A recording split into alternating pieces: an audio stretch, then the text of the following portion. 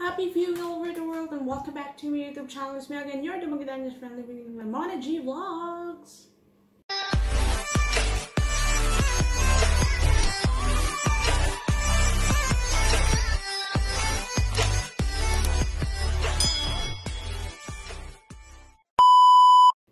Okay guys, so for this video, I sang sanggipsal mukbang ako and with a um, old photo reaction part 2.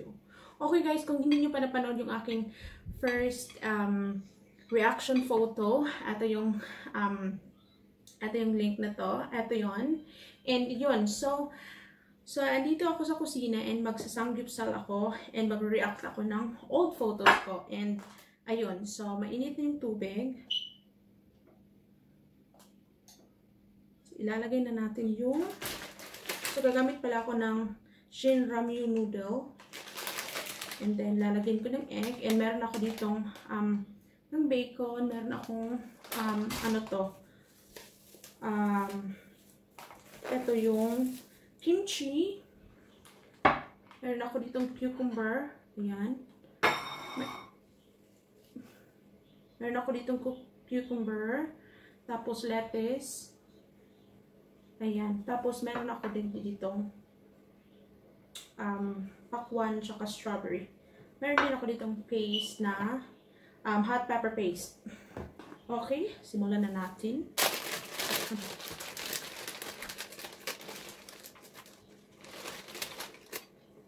Ayan.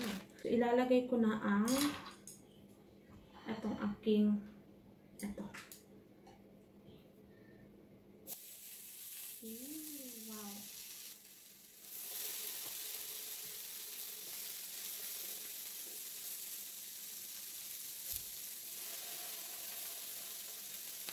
Ayun. So, kumukulo na yung ating noodles. Nakaka-excite lang mag-ganito sa bahay. Pwede nyo gawin nito guys sa, sa bahay habang um, hindi kayo masyado makakalabas. Bili lang kayo nito. Tapos grill-grill lang.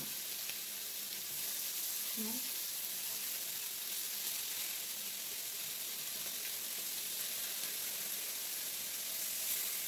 Ayun o. Oh. So, okay. Unang photos. So, ang mga photos na to guys, random to. Ito yung nakikita ko Facebook and proud ako kung saan ako galing guys. So, hindi ko siya kinakahiya at all. So, uh, unang photo, ito yon uh, mag Magbigay lang din ako ng mga um, konting um, background kung anong photo yun. Okay? So, etong photo na to guys, ito yan oh.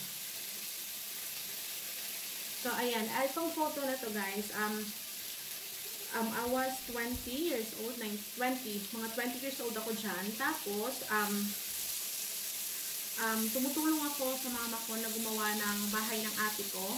Um, hindi, naman siya totally bahay, yung bahay tubo ba.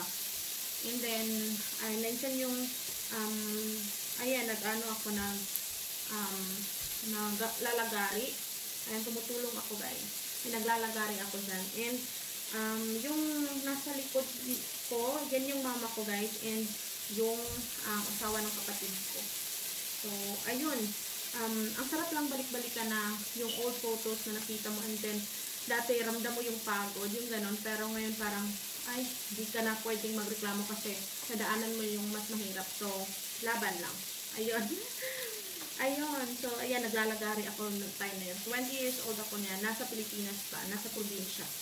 Okay, next photo naman tayo. Ayan. At, ayan, ayan, photo na yan, guys. Ayan yung, um, parang same year din yan. Bago ako nakapunta dito sa UK. Um, gumagawa, yung nanay ko kasi is gumagawa talaga siya ng banig since then. And kung alam niyo yung rumblon guys, um, google niyo na lang. Ayan, so, ayun, rumblon ang ano, ginawang banig. Tapos, yung iba naman kasi di ba nilalagyan ng mga, um, ang tawag doon, nilalagyan ng mga color. Lalagay ko na ito, ito, ito, ha.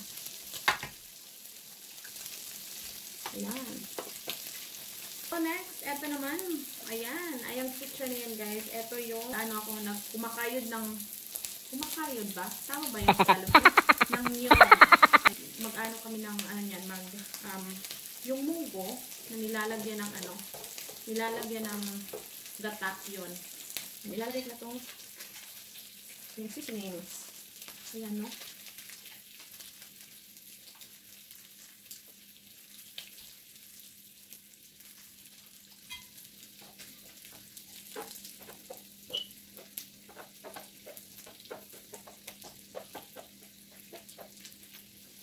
Let's eat.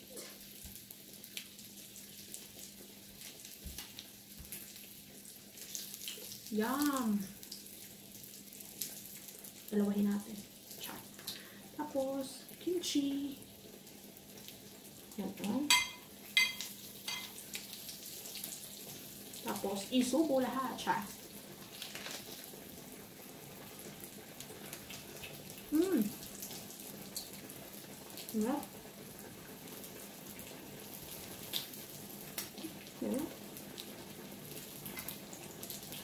Oh, nag ano din kami no, nag na ganito din kami ng friend ko nung nakarang araw. So, bali left over lang talaga tong aking minukbang today. Yan, video to. Ano? Ay, ayo, anyo. Oh. Anyo ba yan? Kapuso yan eh. anyo. Tumawa. Ayan, so next picture tayo. Itong picture na to guys, ayan yung um, before ka magawa ng banig, kailangan, paano ba yun sa Tagalog ng lilas, yung um, ganun, ganunin mo muna, tapos ilalagay mo sa, I'm not sure kung haligi yan, pero parang haligi siya, para mas, mas, mas stretch siya, and then ipipilat sa araw, para mas um, maging brown at madali siyang maging um, madali siyang magawa as a banig.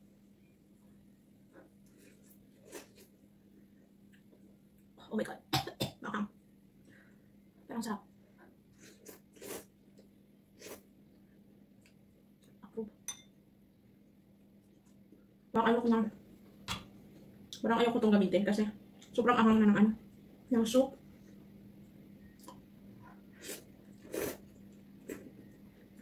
Ang sarap. Hmm. Mhm, nahulog. Tapos kimchi.